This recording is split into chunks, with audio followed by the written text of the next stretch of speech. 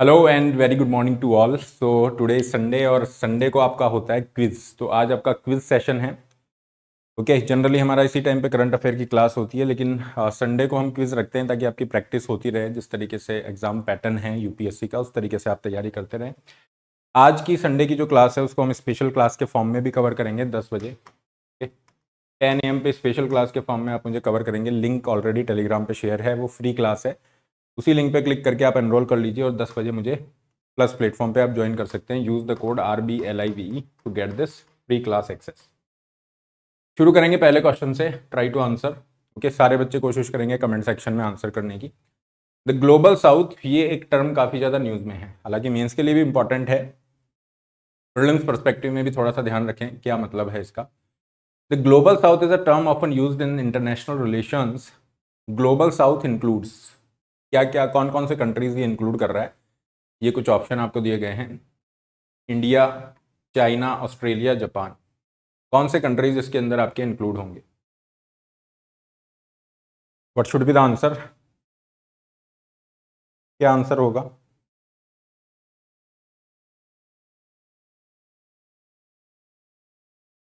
देखो global south की अगर हम बात करें, कई बार ये टर्म यूज़ में आती है। पहले third world countries word use होता था। लेकिन अभी ये टर्म यूज़ में आ रही है। और इसकी अगर हम बात करें आंसर की तो इसमें बी करेक्ट आंसर जाएगा। B is the right answer B इसमें करेक्ट आंसर है। क्यों? क्योंकि ग्लोबल साउथ का मतलब जोग्राफिकल साउथ से हम नहीं ले रहे हैं।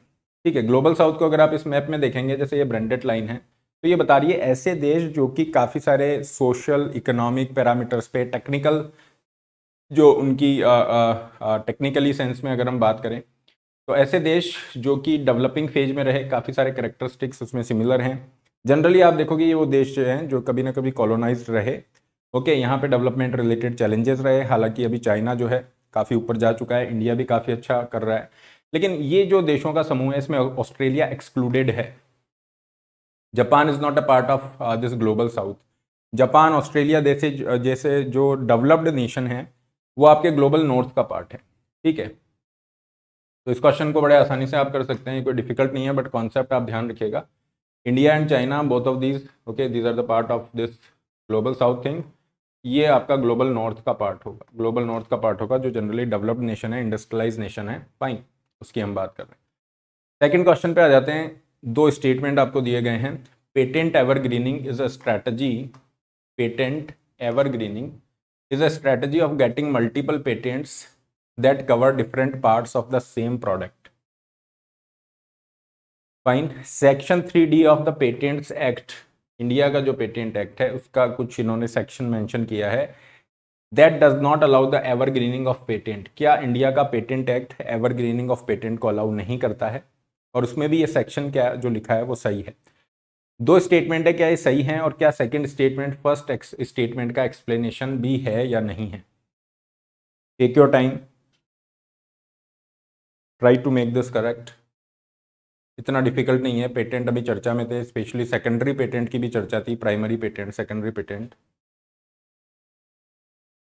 उस कॉन्टेक्स्ट में भी हमने डिस्कस किया था। पेटेंट एवरग्रीनिंग क्या होता है? देखो, जिन बच्चों को नहीं पता, पेटेंट का मतलब पहले इसका मैं आंसर बता दूँ। What should be the answer B is the correct answer both the statements are correct B is the correct answer दोनों स्टेटमेंट सही हैं, लेकिन फ़र्स्ट स्टेटमेंट का करेक्ट एक्सप्लेनेशन यहाँ पे ये नहीं है। पेटेंट का मतलब होता है, मान लीजिए किसी कंपनी ने कोई नई दवा बनाई, है ना? नई दवा बनाई है, लाखों करोड़ों रुपए खर्चा करके बनाई है। अब कंपनी वो दवा बनाती है, उसको मार्केट में बेचती है, मान लीजिए उसी कंपनी की दवा को कॉपी करके दस कंपनियाँ और बेचना शुरू कर देती हैं।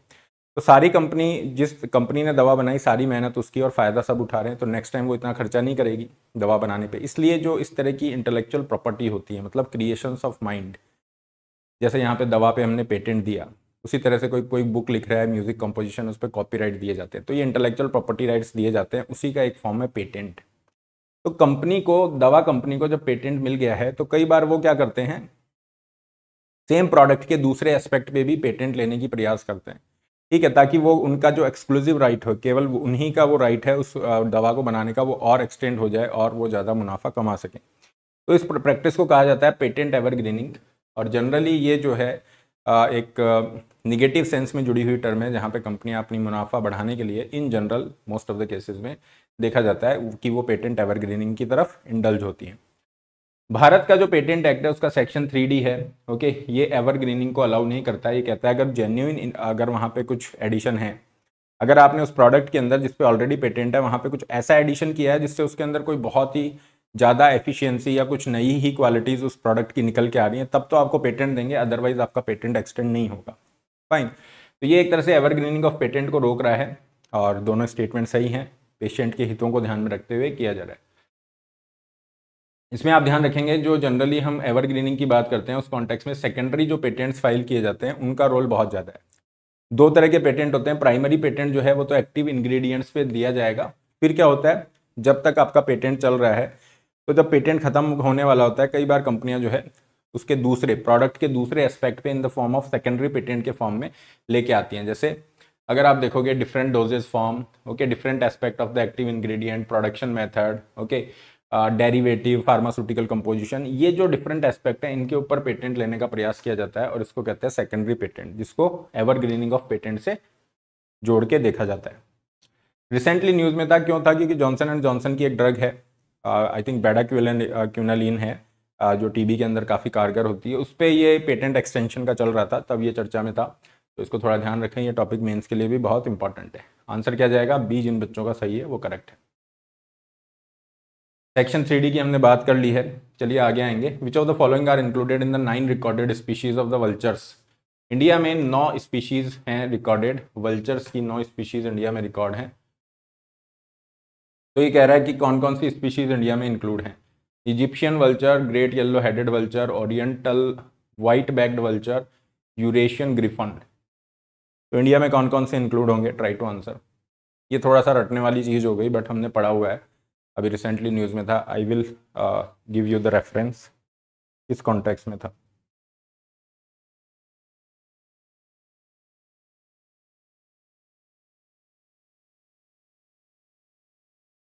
कौन कौन सी होंगी? नो जो वल्चर की स्पीशीज़ हैं, उनमें से कौन कौन सी होंगी? अब कुछ बच्चे जिनका नहीं पढ़ा हुआ है, वो ये दिमाग लगाएँगे कि इजिप्शियन वल्चर है तो इजिप्ट के अंदर होना चाहिए इंडिया में नहीं होगा। यूरेशियन है तो ये यूरोप में होगा इंडिया में नहीं होगा, जैसा टर्की वल्चर है। ठीक है तो देखो मैं यहाँ बताऊँ इजिप्शियन वल्चर है इंडिया में मिलता है। नाइन रिकॉर्डेड स्पीशीज़ में है। ग्रेटर येलो हेडेड वल्चर जो होता है, इसका हेड और वो जो सिर देखोगे, थोड़ा येलो कलर का है। तो ये यूएस की आपकी स्पीशीज़ है। यूएस में मेजर थ्री वल्चर स्पीशीज़ आ रही है, उसमें से एक ये है। तो सेकंड वाला आपका रॉन्ग हो गया, ये इंडिया की स्पीशीज़ में रिकॉर्ड नहीं है। ओरिएंटल वाइट बैग वल्चर है, इसी के कंजर्वेशन को लेकर बहुत पॉजिटिव न्यूज़ सामने आई थी कि इनको पहले जो है नेस्टिंग इनकी करवाई, फिर वाइल्ड में इनको छोड़ा गया तो वो एक बहुत पॉजिटिव गया। Oriental white back vulture India मिल रहा है यूरेशियन ग्रिफन भी इंडिया में मिल रहा है। तो चार स्पीशीज़ आपके सामने ओरिएंटल वाइट बैग वल्चर की बात करें, इसकी पॉपुलेशन 99.9 परसेंट से डिक्लाइन कर गई थी। 99.9 परसेंट से। ओवरऑल जितनी भी तो इसमें आंसर जाएगा सी जितनी भी वल्चर पॉपुलेशन है, सब नेगेटिवली प्रभावित हुई, क्योंकि जो एक एंटी इन्फ्लामेटरी ड्रग जो देते हैं पेन किलर के रूप में डिक्लोफेनिक सोडियम वो जब कैटल में दी जाने लगी और जो वल्चर होते हैं, ये क्या करते हैं कैटल या जो कैराकस होता है डेड बॉडीज उन पर फ़ीड करते हैं। ठीक है, इनको स्क्वेंजर भी कहा जाता है।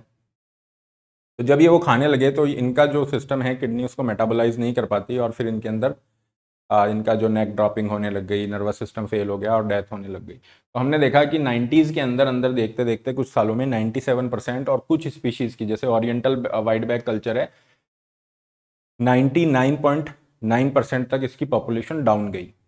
इनको मैक्सिमम प्रोटेक्शन है schedule one wildlife protection act के अंतर्गत। ठीक है कौन सी नो स्पीशीज़ है वो देख लेना। ओरिएंटल वाइट बैग्ड है long build okay slender build Himalayan red headed Egyptian bearded cinereous and Eurasian griffon ये नौ स्पीशीज़ हैं जो इंडिया के अंदर रिकॉर्डेड हैं। इनमें से चार जो हैं क्रिटिकली एंडेंजर्ड हैं इंक्लूडिंग दिस ओरिएंटल वाला। फिर एक एंडेंजर और नियर थ्रेटन के अंदर आ रही है। भारत सरकार ने प्लान लॉन्च कर रखा है 2020 से 25 के लिए। ओके वल्चर एक्शन प्लान है वल्चर्स के लिए डेडिकेटेड रेस्टोरेंट्स ओके डेडिकेटेड इनके कंजर्वेशन सेंटर जैसे Jatayu conservation centre breeding centres ये बनाए जा रहे हैं। आगे आ जाते हैं।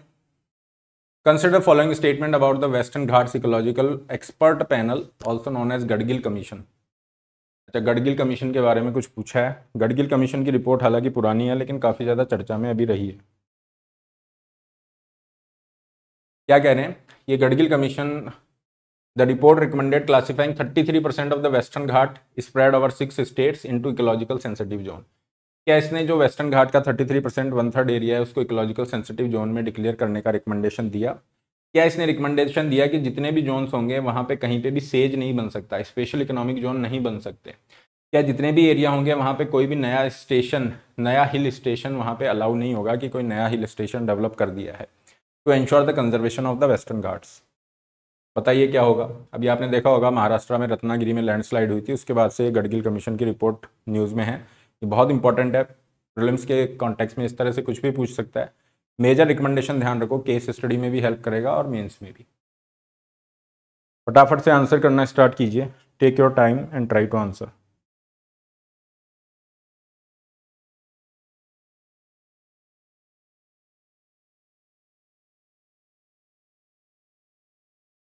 what should be the answer देखो, ये जो रिपोर्ट थी गडगिल कमीशन की, इसने क्या किया?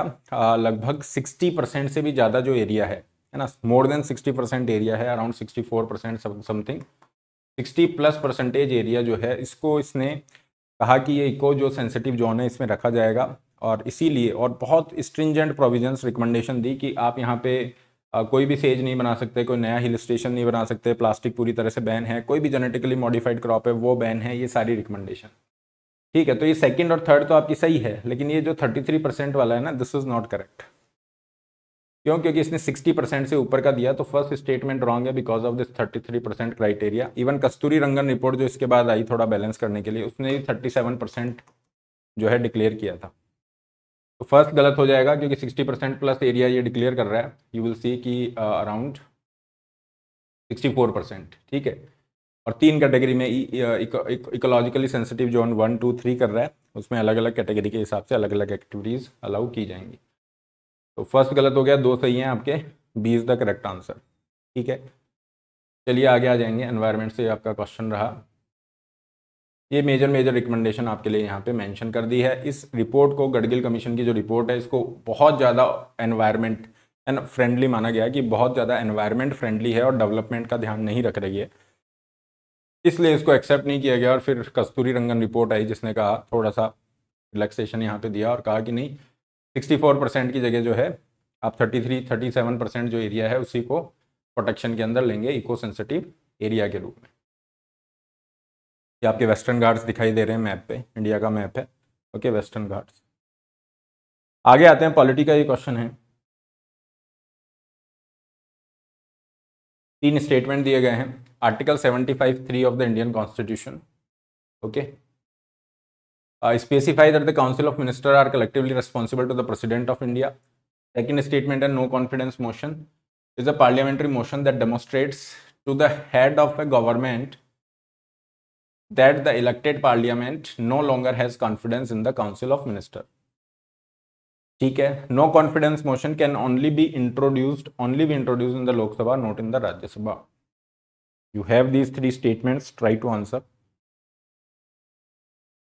simple है, ज़्यादा डिफ़िकल्ट इसको नहीं माना जाएगा। नो कॉन्फिडेंस मोशन अभी रिसेंटली जो है अपोजिशन नो कॉन्फिडेंस मोशन लेके आया सरकार के अगेंस्ट में। ठीक है? मणिपुर वायलेंस वाली जो चर्चा है, उसके कॉन्टेक्स्ट में। तो आर्टिकल 75 में डेफिनेटली इस चीज़ का मेंशन किया गया है, रेफरेंस दिया गया है। लेकिन जो कलेक्टिव रिस्पॉन्सिबिलिटी होती है काउंसिल ऑफ़ मिनिस्टर की, जो सरकार चुन के आई है, उनकी कलेक्टिव रिस्पॉन्सिबिलिटी होती है लोकसभा के लिए। लोकसभा, क्योंकि वो इलेक्टेड जो रिप्रेजेंटेटिव है, उनका चैम्बर है। वो जनप्रतिनिधि, जनता ने डायरेक्ट चुने हैं। ठीक है इनडायरेक्ट इलेक्शन नहीं है तो जैसे राज्यसभा में इनडायरेक्ट सेंस में आ रहे हैं तो ये इसलिए रहेगा। और इसीलिए आप नो कॉन्फिडेंस मोशन जिस जो अगर पास हो जाता है तो सरकार गिर जाती है, अगर आपके पास बहुमत नहीं है तो वो केवल लोकसभा में ही लाया जा सकता है। तो पहला स्टेटमेंट तो गलत हो गया क्यों? क्योंकि प्रेसिडेंट ऑफ़ इंडिया नहीं आएगा, लोकसभा आएगा। Second statement is right this is basically the definition of no confidence motion third statement is also right okay because it can be introduced only in the Lok Sabha the reason being कि लोकसभा में ही directly जो elected representative है, वो आ रहे हैं। तो राज्यसभा के पास वो प्रीरोगेटिव वो अधिकार नहीं है कि वहाँ पे जो मेंबर्स हैं, उनके बहुमत के आधार पर सरकार बने या गिरे। तो इसमें दो स्टेटमेंट करेक्ट होंगे, जिन बच्चों का बी आंसर है। This is correct okay B is the correct answer आगे आ जाते कॉन्टेक्स मैंने बता दिया। अभी रिसेंटली जो है नो कॉन्फिडेंस मोशन लाया गया था। फुल रिज़र्व बैंकिंग पे कुछ स्टेटमेंट है इकोनॉमी से ये क्वेश्चन आ गया है आपका।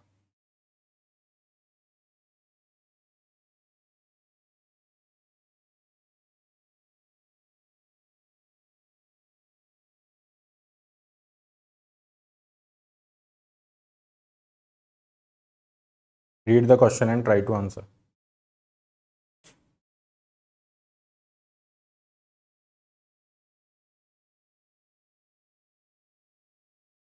तीन स्टेटमेंट आई होप आपने पढ़ लिया होगा। दोबारा से मैं एक बार देख देता हूँ। सिस्टम ऑफ़ द बैंकिंग ये फुल रिज़र्व बैंकिंग के बारे में पूछ रहा है, क्या है फुल रिज़र्व बैंकिंग ठीक है।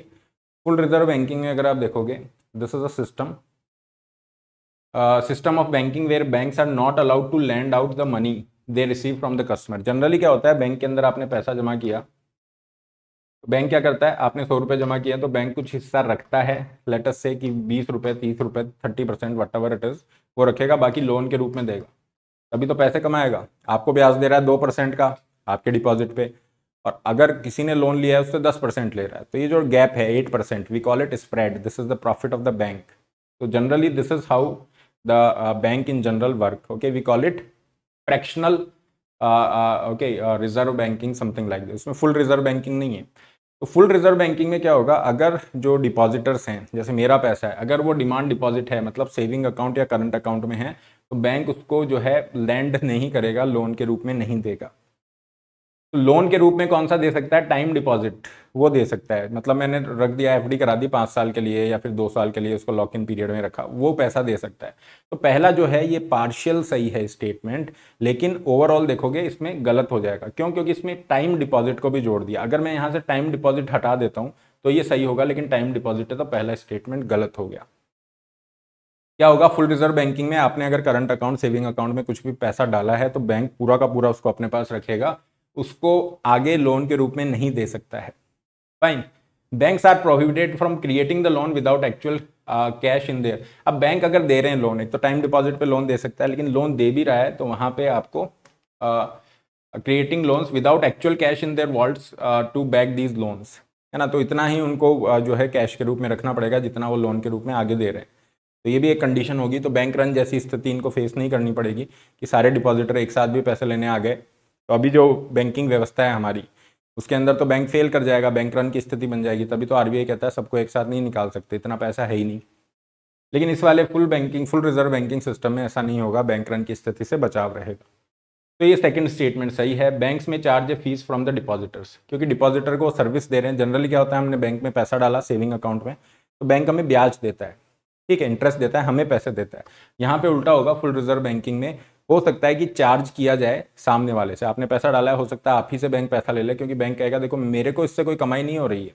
मैं आपको सर्विस दे रहा हूँ, आपके पैसे को सुरक्षित रख के, आप जब चाहें तब वो पैसा निकाल सकते हैं। So I am providing you some service okay that's why I can charge so there is a possibility third statement is also correct so in this case second and third statements are correct B is the correct answer ठीक है? आ गया समझ में?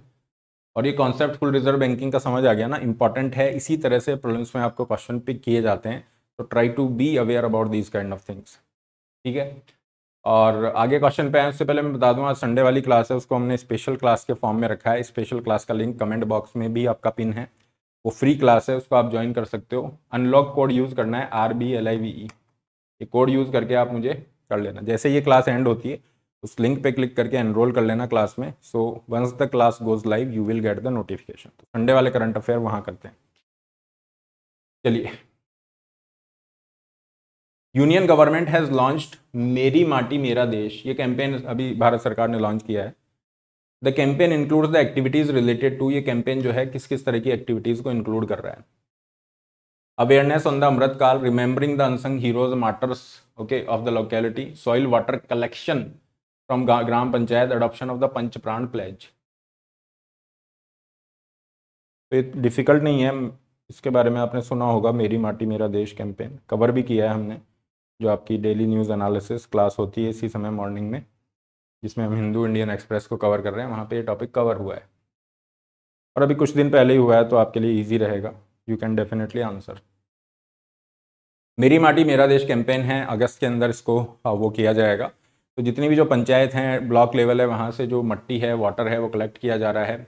आसपास के लोगों में awareness create की जा रही है कि आपके जो हीरोज़ हैं, ठीक है, जिन्होंने कंट्रीब्यूट किया है है ना, जो शहीद हैं मार्टर्स हैं, जिन्होंने देश के लिए अपनी जान दी है या फिर प्रोटेक्ट किया है लोगों को, उनको याद किया जाए। Okay this collection is there gram panchayat ही नहीं, ब्लॉक लेवल से और यहाँ से भी है। पंच प्राण प्लेज है, जिसके अंदर जो है पाँच मेजर चीज़ें हैं, जिसको आप कर रहे हो कि है ना, कि हम इस तरीके से करेंगे, हम अपनी ड्यूटीज़ का ध्यान रखेंगे, वगैरह वगैरह। अमृतकाल है जहाँ पे हमारा जो है, ये अमृतकाल माना जा रहा है। मतलब अभी हमारे 75 फाइव ईयर्स पूरे हो गए आज़ादी को। दो साल आज़ादी को पूरे हो जाएँगे 19 सॉरी 2047 में। ठीक है 1947 से अभी तक। तो ये जो पीछे 20 साल ये जो 25 ईयर्स है, ये जो 25 ईयर्स का टाइम है, इसको माना जा रहा है अमृतकाल। तो उसकी अवेयरनेस भी तो चारों स्टेटमेंट सही है D is the correct answer okay Panch Pran pledge के अंदर आपका क्या आ रहा है? Goal of developed India unity sense of duty वगैरह वगैरह। तो all four are correct D is the right answer consider the following statements ये फिर इकोनॉमी से आपका आ गया है। After COVID nineteen pandemic India's export of basmati rice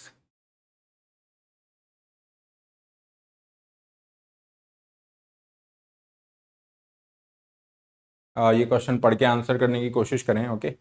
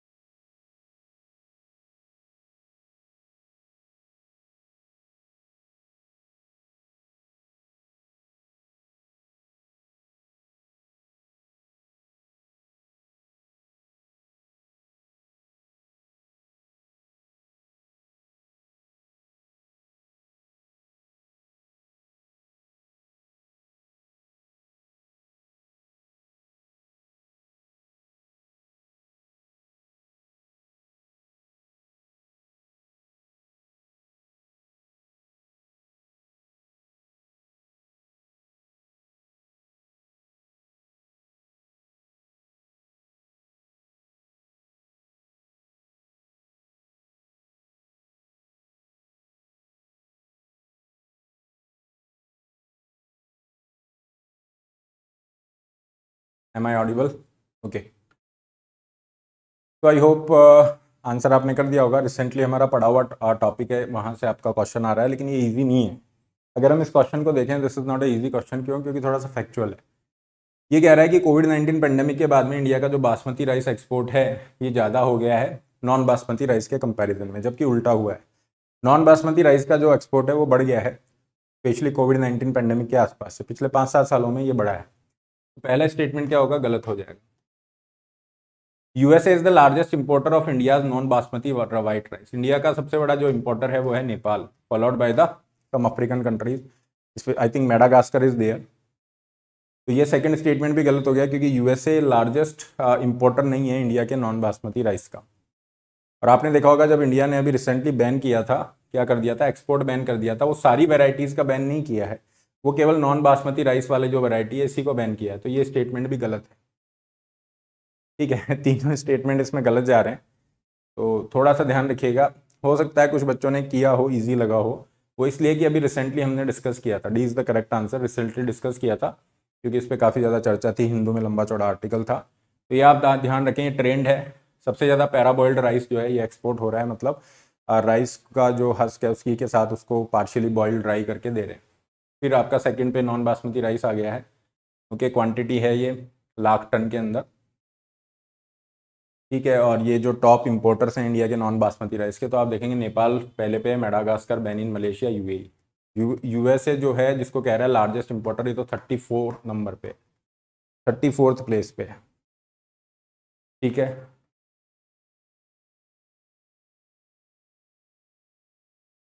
चलिए, आगे मूव करेंगे। आठ क्वेश्चन हमने कर लिए हैं नाइन्थ क्वेश्चन पे आ जाते हैं। Following system following statement with regard to magnetars magnetar के बारे में आपको कुछ दो स्टेटमेंट दिए हैं। I hope this should be fine with you अभी हमने रिसेंटली किया है। Magnetar are the most powerful magnets in the cosmos A magnetar is a type of black hole whose magnetic field are so strong that they squash atoms into pencil like shape. क्या होगा इसमें answer magnetar discuss किया था। Fast radio burst F R B याद आ रहा है? इतनी सारी एनर्जी फास्ट रेडियो बर्स्ट के रूप में निकल रही है, जितनी सन कई सौ सालों में, कई हज़ारों सालों में निकाल रहा है। वो ये मिली सेकेंड फ्रैक्शन ऑफ़ सेकेंड में आपका रिलीज़ कर दे रहा है। What should be the answer सारे बच्चे कर दो इसको। नॉट अ डिफ़िकल्ट वन देखो मैग्नेटार एक तरह का क्या है? न्यूट्रॉन स्टार है। तो ये ब्लैक होल कहाँ से आ गया? ये तो गलत हो गया ना। मैग्नेटार तो न्यूट्रॉन स्टार है, पढ़ा हुआ है हमारा। तो जो न्यूट्रॉन स्टार होते हैं, उनमें भी ऐसे मतलब रेयर होगा, जो नॉर्मल न्यूट्रॉन स्टार है ना, उसके कंपैरिजन में भी टेन टाइम्स है ना, और बहुत कई गुना ज़्यादा उसका मैग्नेटिक जो फ़ील्ड है, वो रहेगा। We call these magnetars okay इस तरह के न्यूट्रॉन स्टार होंगे। न्यूट्रॉन स्टार होंगे, न्यूट्रॉन स्टार बनते हैं, जो बहुत बड़े स्टार हैं, उनका जब फ्यूल पूरा खत्म हो जाता है तो एक्सप्लोजन होता है सुपरनोवा बनता है, उसके बाद जो बन रहा है। तो वहाँ से होगा। तो सेकंड स्टेटमेंट गलत है फ़र्स्ट इज़ राइट तो जिन बच्चों का ए आंसर है A is the correct answer ठीक है फास्ट रेडियो बस्ट के कॉन्टेक्स में डिस्कस किया था। एफ़ क्या होती हैं, ये भी ध्यान रखें। इन्हीं मैग्नेटार के द्वारा जो रेडियो वेव्स हैं, उसमें इतनी एनर्जी निकल रही है फ्रैक्शन ऑफ़ सेकंड के अंदर, जो बहुत बहुत ज़्यादा है।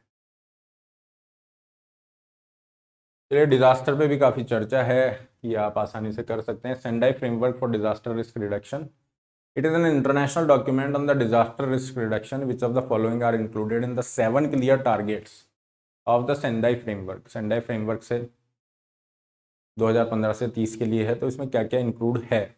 इसके जो सात टारगेट हैं सेंडाई वाले। जापान में एक जगह है सेंडाई वहाँ पे फाइनलाइज हुआ। वहीं से इसका नाम पड़ा हुआ है तो इसमें क्या क्या इंक्लूड होगा? Substantially increase the number of countries with national and local disaster strategies risk reduction strategies loss of the gdp को कम करना international cooperation को बढ़ाना increase the availability accessibility of early warning system पढ़िए इसको ट्राई टू आंसर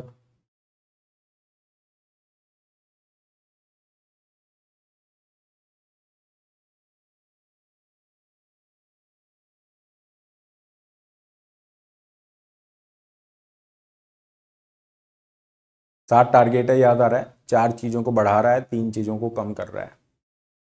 ठीक है international cooperation को बढ़ाने की बात है, सही है। ओके। घटाने की बात है जीडीपी से होने वाले लॉस को। सही है। Increase the number of countries की वो उनका लोकल अपनी रिस्क स्ट्रेटजी हो, सही है। Substantially increase the availability access to early warning system this is also right okay. और क्या है? ये तो सात हैं, चार यहाँ पे मेंशन है, चारों सही है। इसमें और में क्या? तो डी इसमें करेक्ट आंसर डी जिन बच्चों का है, सही है। काफ़ी बच्चों ने किया है इसको, ठीक है। और क्या होगा? जैसे इसमें मॉर्टेलिटी जो हो रही है, लोगों की जान का जो नुकसान हो रहा है, उसको कम करना। क्रिटिकल इंफ्रास्ट्रक्चर को जो नुकसान हो रहा है, उसको कम करना, ठीक है। इकोनॉमिक नॉस क्रिटिकल इंफ्रास्ट्रक्चर को नुकसान है, उसको कम करना। मॉर्टेलिटी को कम करना फाइन कितने लोग अफेक्ट हो रहे हैं, उसको यहाँ पे कम करने की बात की जा रही है। तो ये सारी चीज़ें हैं। इससे पहले आयोगो फ्रेमवर्क था 2005 से 15 के लिए 2005 टू 2015 एट प्रेजेंट आपका जो है सेंडाई फ्रेमवर्क है, जिसके अंतर्गत डिजास्टर रिस्क रिडक्शन के प्रयास ग्लोबल कॉपरेशन को बढ़ाने का प्रयास किया जा रहा है। आगे आएँगे consider following statement about the world wide nature world wide fund for nature WWF के बारे में। डब्ल्यूडब्ल्यूएफ पे आपको तीन स्टेटमेंट दिए हैं world wide fund for nature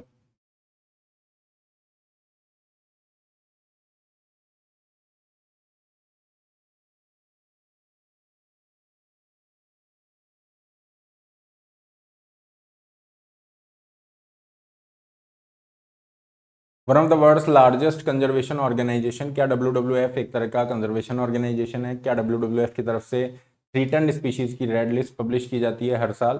क्या डब्ल्यू ने लॉन्च किया है काफ़ी सारे इनिशिएटिव जिसमें से एक अर्थ आर भी है earth hour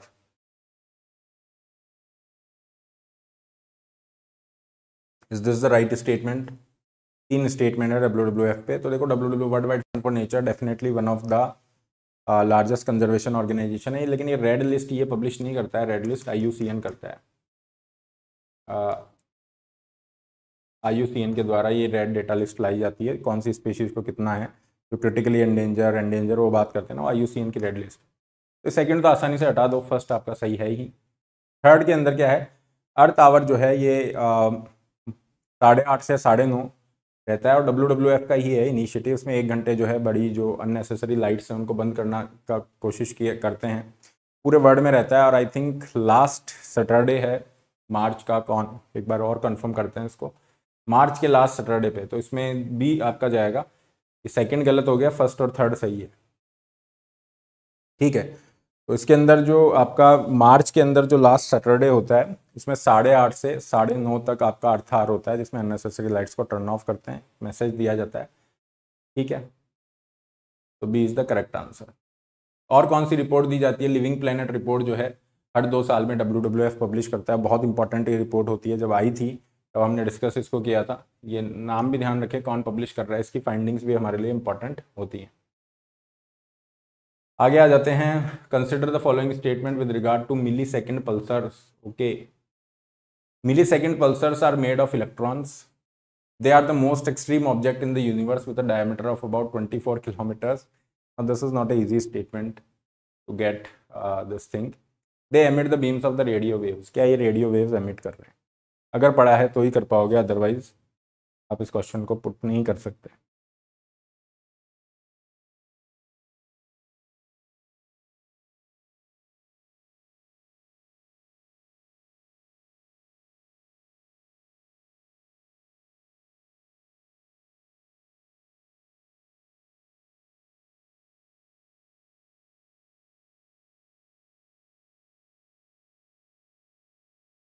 Uh, देखो इसके लैंग्वेज में थोड़ा सा is not proper in that sense but still अगर हम uh, इसको लेके चलें एक सेंस के अंदर तो मिली सेकेंड पल्सर जो होते हैं ये एक तरह के न्यूट्रॉन स्टार ही हैं। न्यूट्रॉन स्टार्स ही हैं। ठीक है तो ये जो फ़र्स्ट स्टेटमेंट है ये अपने आप में करेक्ट नहीं है ना? तो ये क्वेश्चन एक तरह से आप मान लो कि जो स्टार मार्क वाला क्वेश्चन होता है ना उसमें चला जाएगा। तो whether we should keep this statement किस कैटेगरी में रखें? बाकी ये थर्ड स्टेटमेंट सही है रेडियो वेव्स की बीम्स को एमिट कर रहा है है ना? डायमीटर uh, भी somewhere around this okay this is fine इसको एक बार हटा देते हैं इस क्वेश्चन को this is not right millisecond pulsars वाला ये जो क्वेश्चन है इसको एक बार हटाते हैं। आगे क्वेश्चन पे आते हैं Melghat forest okay Melghat forest जो हैं इस पर आपको तीन स्टेटमेंट uh, दे रखे हैं। It lies Melghat forest lies in the में भी थोड़ा लैंग्वेज इशू है ना? It is a part of Satpura Maikal range देखो मैं इसको थोड़ा करेक्ट करता हूँ फ़र्स्ट लाइन जो है। Uh, उसमें थोड़ा सा करेक्शन है। Melghat forest forest lies in the Jabalpur district और situated in the Jabalpur district of Madhya Pradesh. इसको थोड़ा करेक्ट करना। क्या मेलघाट फॉरेस्ट जो है ये मध्य प्रदेश के जबलपुर डिस्ट्रिक्ट में सिचुएटेड है? पहला। क्या ये सतपुड़ा मैकाल जो लैंडस्केप है, उसका पार्ट है? क्या यहाँ पे कोरकू ट्राइब जो है, वो रिसाइड करती है? फाइन ये तीन स्टेटमेंट आपको दे रखे हैं। What should be the answer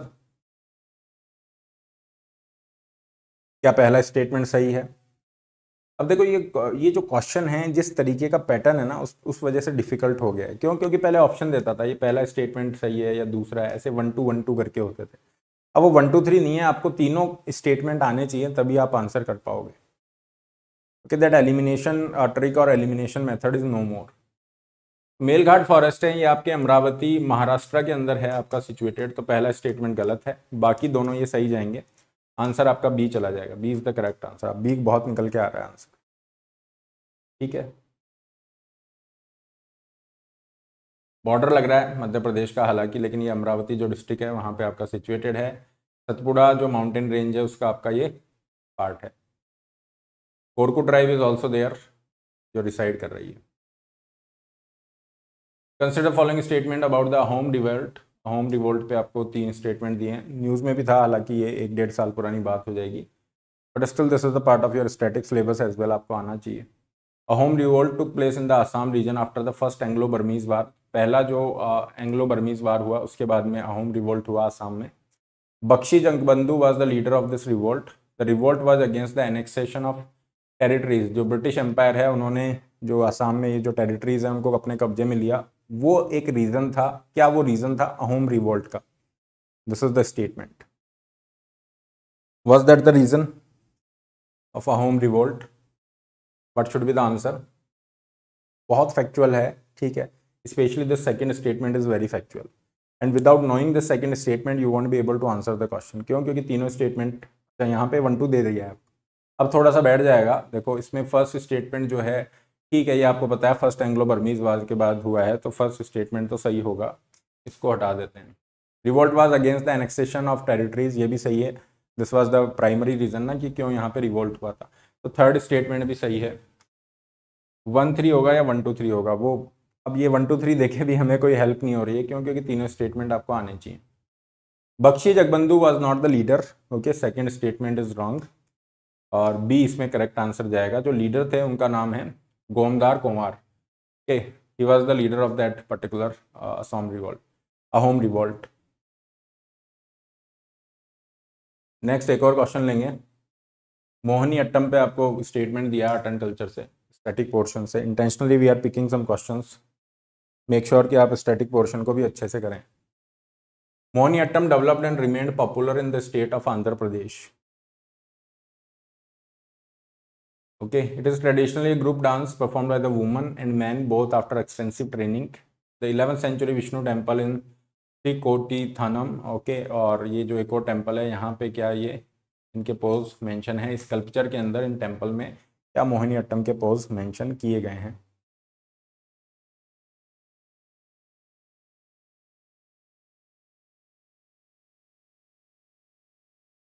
classical dance है मोहिनी अट्टम फाइन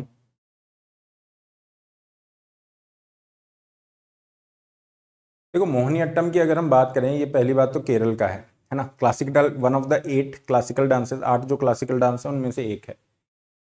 एक तो हो गया मोहिनी अट्टम, एक और है केरल का क्लासिकल डांस कौन सा है? Let me know in the comment section ठीक है? तो मोहिनी अट्टम ये है, और इसके अंदर क्या होगा? जनरली सोलो डांस है ओके और वुमन परफॉर्म कर रही है। तो एक ग्रुप डांस जो लिखा हुआ है और जो मैन भी हैं, दोनों हैं, ये नहीं होगा। Woman generally in general perform इसको करती रही हैं सोलो डांस के फॉर्म में आएगा। और थर्ड स्टेटमेंट इसमें सही जाएगा। तो पहला फ़र्स्ट गलत हो गया सेकंड गलत हो गया थर्ड सही है। Only one statement is correct A is the correct answer A is the correct answer A इसमें सही आंसर आपका जाएगा। ठीक है?